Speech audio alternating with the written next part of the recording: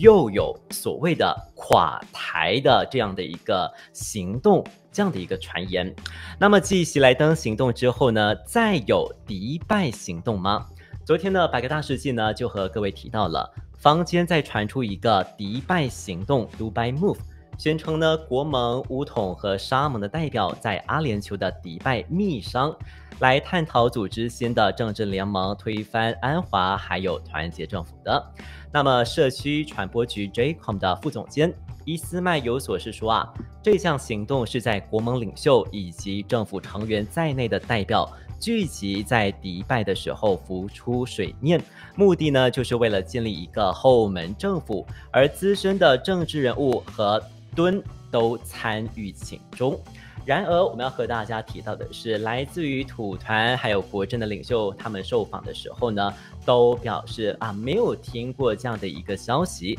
土团党的宣传主任拉扎里就向媒体说啊。他对于迪拜行动是一无所知的，而且是否认曾经有反对党国会议员提到这件事情。另外呢，民政党的青年团总团长兼吉打州的行政议员黄家珍就抨击啊，传言中的迪拜行动是破坏民主，指人民已经厌倦了为了权力而更换政府的行动，政治稳定才是国家发展的支柱。黄家珍也是有说了，马来西亚经历六年四次更换首相之后，当下人民所期待的是经济繁荣以及生活变化。另外要和大家提到的是，今天早上的时候呢，我国的工程部的副部长阿姆马斯兰，他呢就有在社交媒体上指出，所谓的迪拜行动只是幻想巴达摩加纳。乌统和国政三十名国会议员已经签署了文件。如果要跳槽的话，就得付一亿令吉。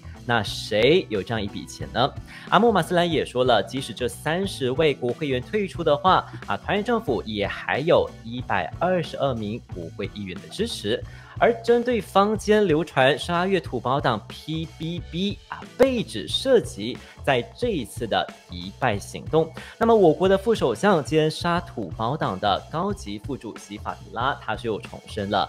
PBB 是支持政府的啊，也强调说土宝党的国会员是以确保国家经济重回正轨为优先，因此没有这个时间来理会政治把戏。